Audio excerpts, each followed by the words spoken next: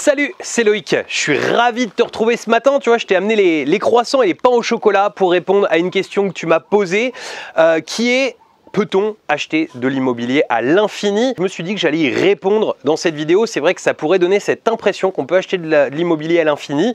C'est peut-être vrai, c'est peut-être faux. On va répondre à tout ça dans cette vidéo. Tu vas voir que c'est un petit peu plus compliqué que juste un oui ou un non. Je balance l'intro, je mets la table et on est parti.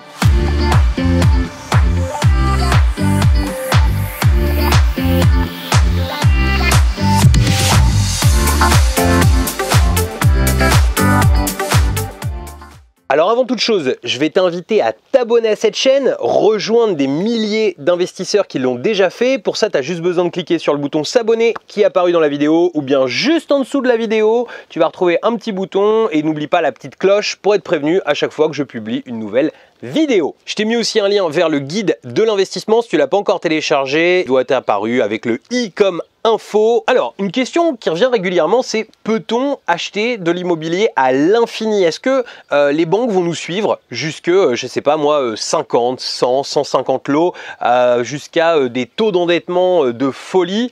Alors concrètement, on pourrait s'imaginer qu'on peut investir de manière infinie. Pourquoi? Parce que si tu investis euh, selon la règle des 33%, que tu achètes un premier bien immobilier qui est rentable, qui te permet de gagner de l'argent chaque mois, eh bien, tu vas pouvoir enchaîner forcément un second logement.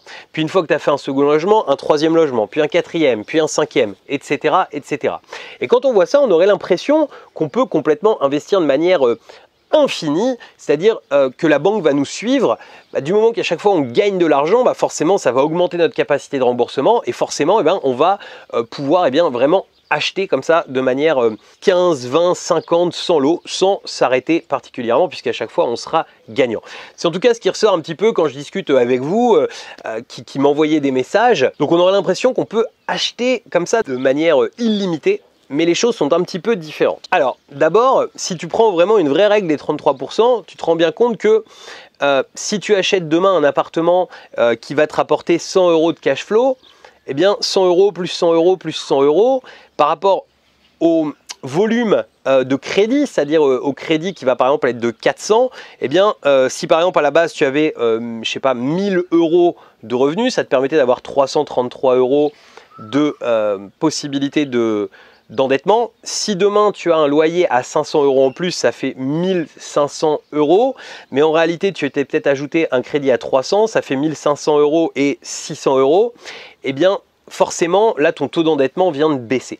Alors ça, ça n'est pas une vraie problématique pour les banques, hein, puisque les banquiers sont tout à fait euh, au courant, préfèrent euh, voir quelqu'un qui leur a montré qu'il sait faire avec l'immobilier et qui a finalement un taux d'endettement un petit peu juste, que quelqu'un qui a euh, un taux d'endettement qui reste encore assez large, mais qui malheureusement ne sait pas faire et part dans des choses euh, qui, ne sont pas, euh, qui ne sont pas rentables. Mais les choses sont un petit peu plus complexes que ça et pour ça je voulais te raconter une histoire. En fait euh, c'était l'histoire d'Anaïs. Anaïs est membre de Vive de l'immobilier. Anaïs a pas mal enchaîné puisque elle est à son 13e lot à aujourd'hui et Anaïs vient de se faire refouler par plusieurs banques.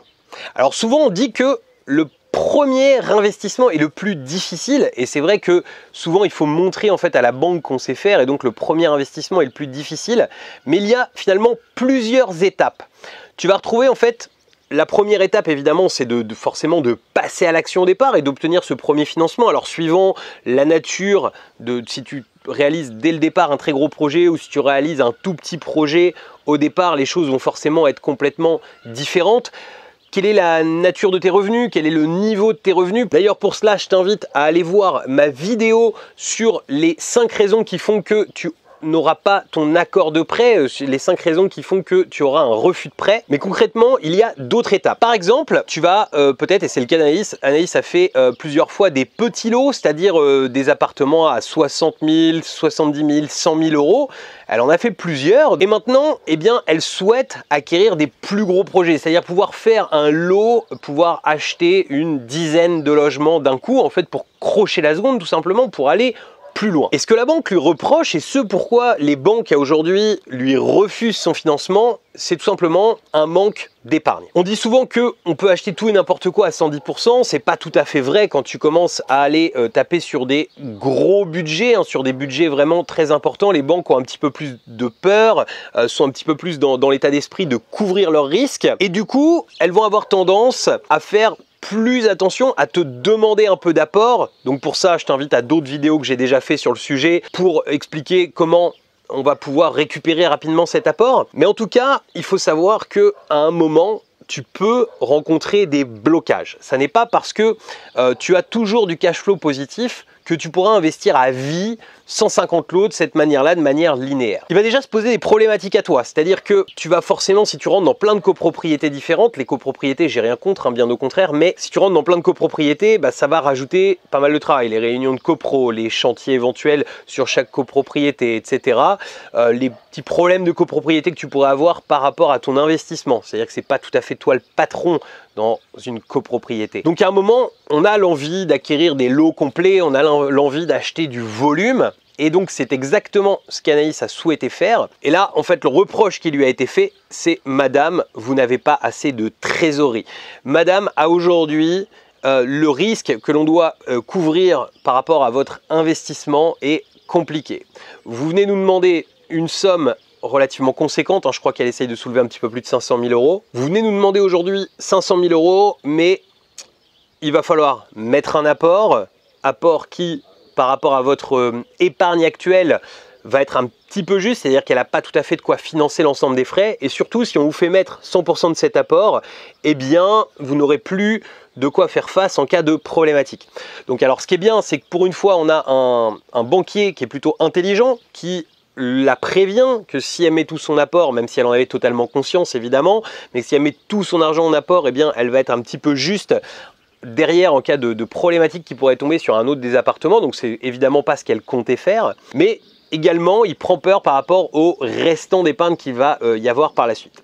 Donc tu vois par contre que dans cette problématique, ça n'est pas du tout une question de taux d'endettement, même si finalement le taux d'endettement est assez haut chez elle, ça ne pose pas de problème particulier à la banque. Ce qui pose problème à la banque, c'est la trésorerie. Et c'est justement ce qui va faire, ce qui va être la clé de pouvoir investir de manière, je dirais, euh, quasi euh, illimitée, eh bien, ça va être la trésorerie, c'est-à-dire de se constituer au fur et à mesure des trésoreries qui soient une trésorerie qui soit vraiment conséquente qui euh, à chaque fois soit en adéquation avec les projets que tu souhaites mettre en place. Même si toi sur le papier tu as vu que c'est complètement rentable, que tu es prêt à foncer sur un projet à 500 000, à 1 million d'euros, dans la tête de la banque, il faut se mettre à la place du, banquier, même si c'est le directeur par exemple qui suit ton dossier, il a peut-être un salaire de peut-être 5000 euros par mois, et donc pour lui, c'est 500 000 ou c'est un million, ça lui semble complètement exponentiel, complètement démesuré, alors que toi, c'est quelque chose qui te semble euh, bah, cohérent parce que bah, tu as des calculs, tu as fait tes, études en amont et tu sais que ça va gagner de l'argent, donc à partir de là, toi, tu n'y vois pas un risque particulier. Mais lui, il va être plus dans, un, dans quelque chose de terre à terre et il va être dans une gestion de risque, il va en réalité avoir plus ou moins euh, bah, qu'il t'arrive quelque chose et il va vouloir pour ça des garanties conséquentes. Donc tu vois à travers cette vidéo qu'on peut acheter à l'infini des biens si on le souhaite, mais il va falloir en fait avoir une véritable stratégie si on veut pouvoir faire ça puisque d'autres choses vont entrer en ligne de compte, comme par exemple la trésorerie.